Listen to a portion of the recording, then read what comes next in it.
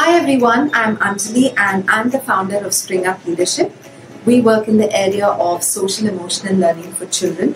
If you're wondering what social emotional learning is, they're basically life skills which are rooted in emotions.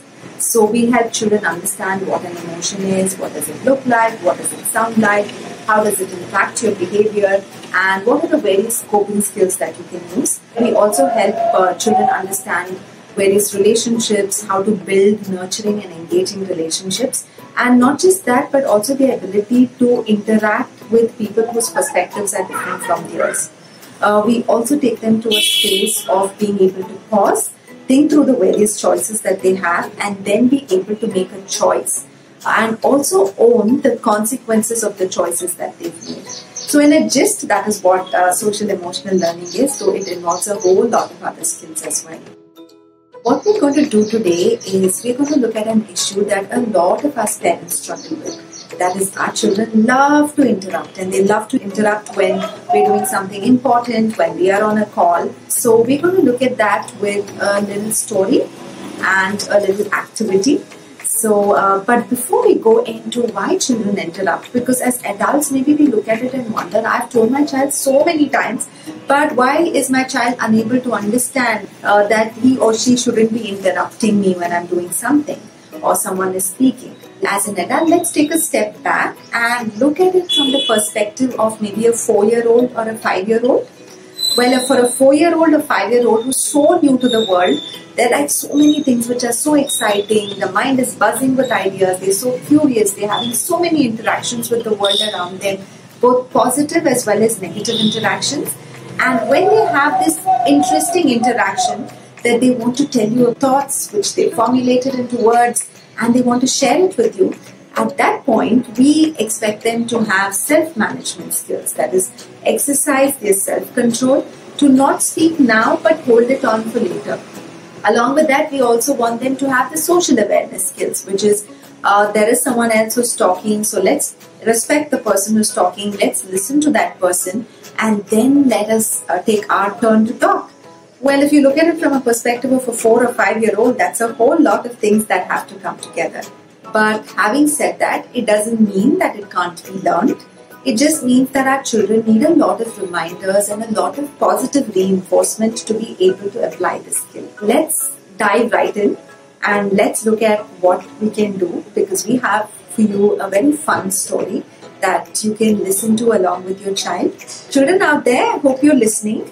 So, the story we're going to do today is called My Mouth is a Volcano. It is written by Julia Cook. And Julia Cook is one of my favorite authors because she's written such beautiful books on social emotional learning. This particular book is some is a book that we read extensively in our learning spaces, and a lot of our children really enjoy this book. So I hope you all will enjoy this book as well. So let's uh, dive right in and get started with the story. So this is a story of a little boy called Louis and Louis had a problem. Like, you know, all of us have problems. And the problem that Louis had was whenever someone was speaking, he suddenly had all these thoughts in his head which began to jumble and tumble and grumble and they slid right down his tongue. They did a little wiggle and wiggle and jiggle and they pushed against his teeth and they just jumped out like a volcano. They just erupted. And it bothered everyone around him because they just didn't like this habit of Louis of erupting all the time. But our friend Louis felt that it was not his problem. It was his mouth's problem because his mouth was a volcano. So one day our friend Louis went to school and as he went to school he saw two of his closest friends were very very happy and having a very animated conversation.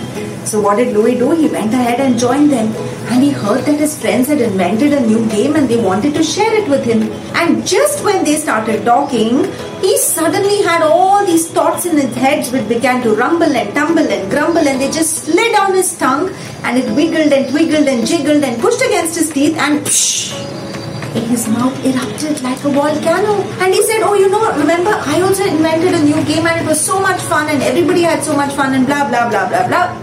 And do you think his friends were happy? Of course not. His friends were really upset and they said, Louis, you interrupt all the time. But our friend Louis said, It's not my problem. It's my mouth's problem because my mouth is a volcano. But his friends were not happy with that. So off went Louis to class. And you know, like all your classrooms, Louis' class also had certain rules and instructions which he had to follow. So teacher said that whenever you want to speak, what you need to do is you need to raise your hand, wait for your turn and only then talk. And Louis tried his best to do this, but he was not often successful. So today when he sat in class, he heard his teacher talking about something and just as his teacher was talking about it, he suddenly had all these thoughts in his head which began to rumble and tumble and jumble and they came right up to his tongue and they began to wiggle and wiggle and jiggle and his mouth erupted like a volcano. And he said, ma'am, you know, I also remember reading this in our, one of my encyclopedias. I read it and it was so much fun and blah, blah, blah, blah, blah. And do you think his teacher was happy? Of course not.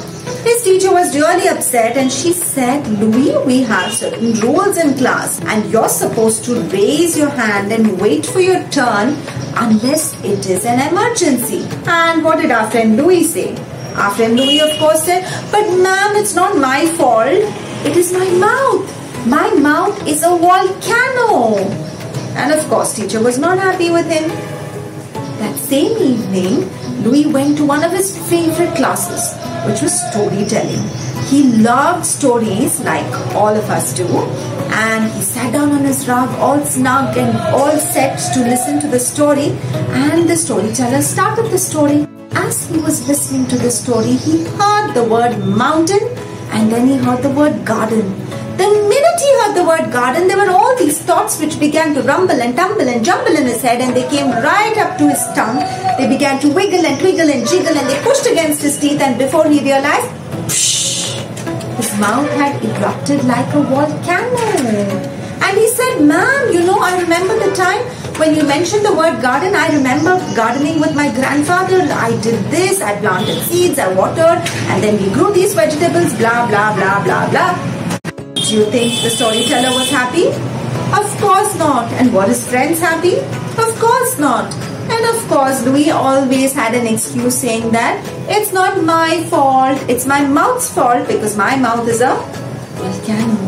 Now, his friends and his teacher were really tired of hearing Louis' excuses. So they had just almost given up on him. But Louis didn't mind because he felt his thoughts were important. He felt the problem was in his mouth. So off went Louis home.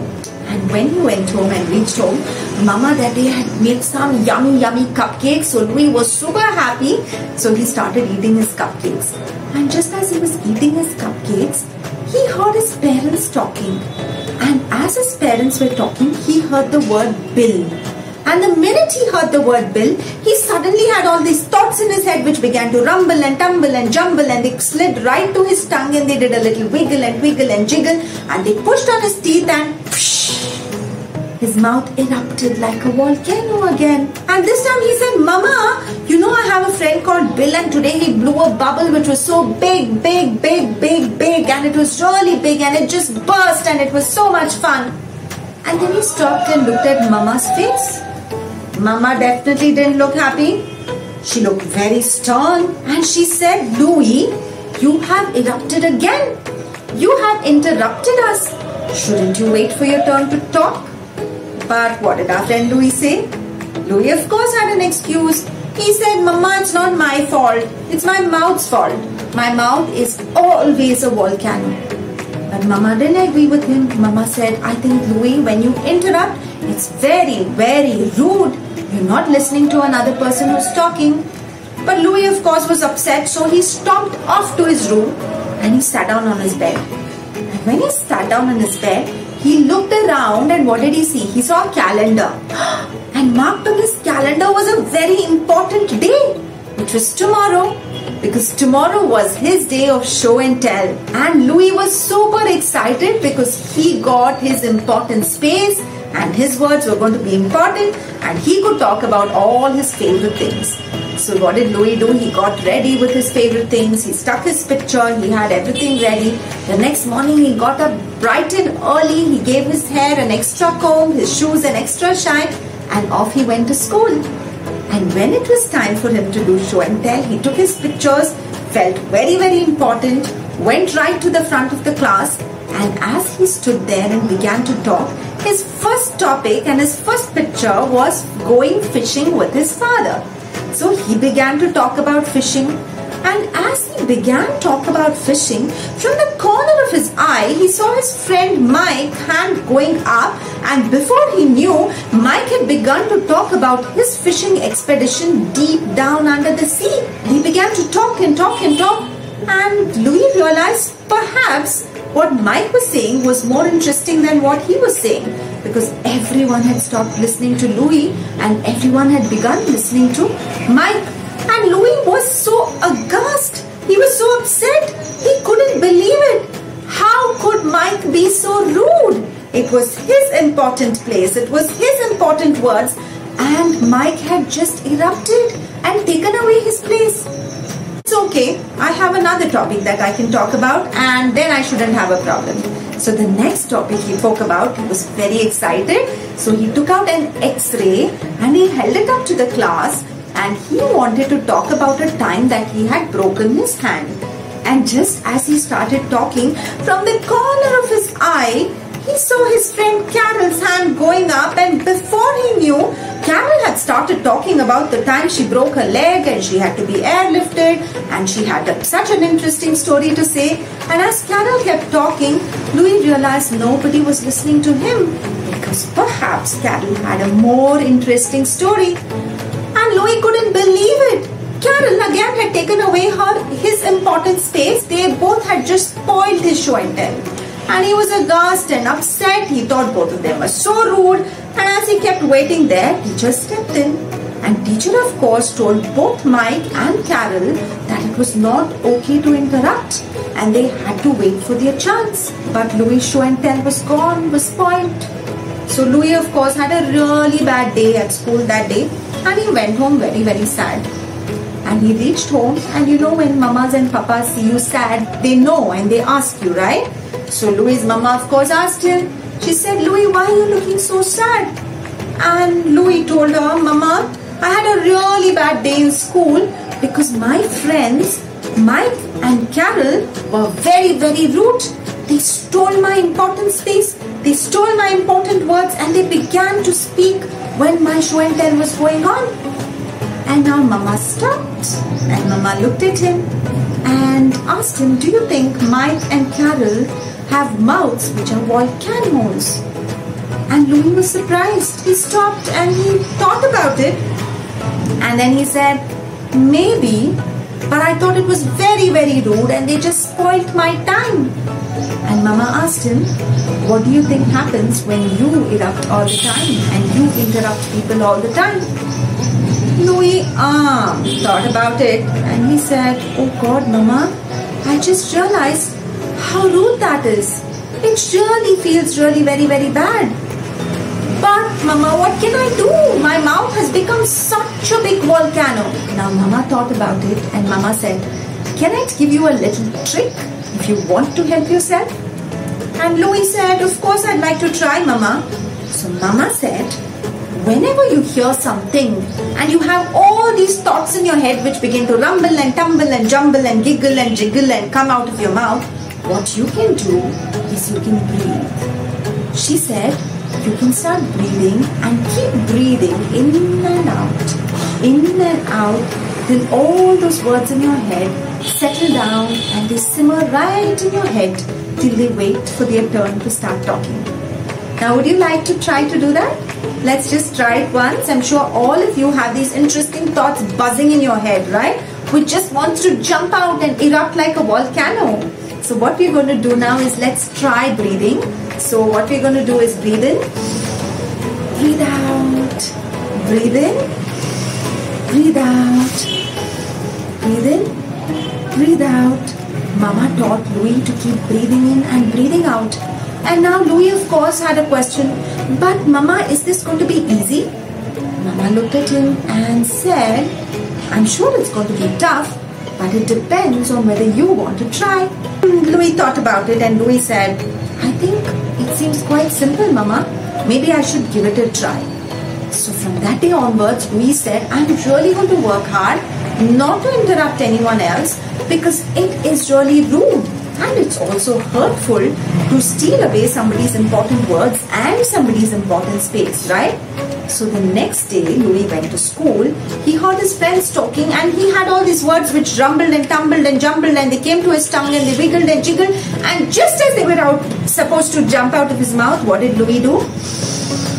Breathe. Breathe. Breathe. He kept breathing till the words in his head simmered and they glided and they waited and they waited and they waited till it was his turn to speak. So even in class, he raised his hand and waited. In storytelling session, he though he had all these thoughts in his head, he waited. And when he came home that day, he told his mama, Mama, today was really great. It was quite exciting. There were so many times that all these thoughts jumped into my head. They wriggled and they wiggled and came to my mouth. They pushed against my teeth and my teeth almost opened, but I stopped it by breathing in and out and in and out and in and out till they settled down and I waited for my turn.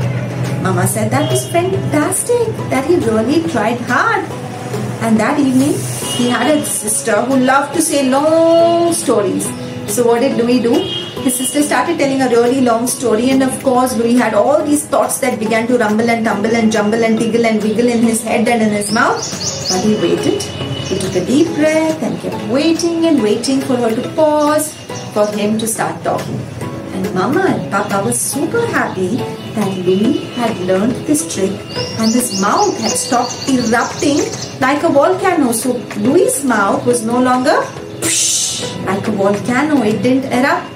And Louis understands that he can control his mouth and stop erupting like a volcano unless it's an emergency and you need an adult's immediate attention. So that's the story of Louis and how his mouth, which was a volcano. I hope you all enjoyed this story and I hope you all will also work hard like Louis so that your mouths don't erupt like volcanoes. What we're going to do next is a little craft activity so what we are going to do in the craft activity is we're going to create a little reminder, a visual reminder which you can probably stick at home uh, on your wall. This is a little worksheet that we use in our classrooms but you can make this at home as well. So let's get down to doing it. So what you would need is some glue, a scissors, some crepe paper and maybe some orange chart paper if you have some brown chart paper to make a mountain and some sketches and color pencils. If you don't have uh, color papers then you can of course draw as well. So what we're going to do is we're going to use this as a little mountain from you know out of which you can make a volcano. So we're going to apply some glue now. If you don't have chart paper you can of course take a sheet of paper and just draw your mountain and also make a volcano the way you would like to make it. So what we're going to do is fix it here. And I like using this crepe paper. So you can have your volcano splashing as much as you want. There you go. So alternatively instead of this what you can also do you could also use these like volcano that is spewing out spewing out. And here you can write the various things that breathe I've written breathe you can write whatever you think are the skills that's needed not to interrupt. So we say be respectful wait for your turn.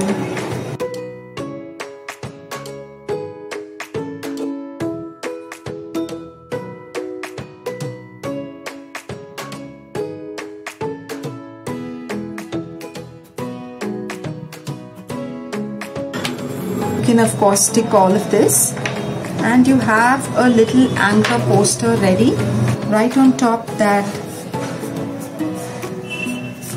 mine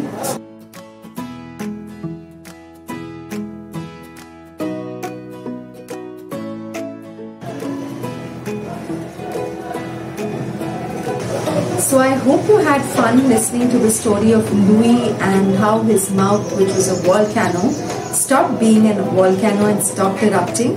I hope you had fun doing the craft activity as well. Do make sure that you stick it somewhere in your room or wherever you can see it so that it's a visual reminder for you not to erupt like a volcano. So if you'd like to know more about social emotional learning or more stories and activities related to social emotional learning, do check out our website www.springup.in or visit us and follow us on our Facebook page and our Instagram pages. Also make sure that you check out KinderPass and also connect with KinderPass in case you want to know more about child development activities. Do write to us or do write to KinderPass and we'll be more than happy to interact and connect with you. Thank you so much and bye.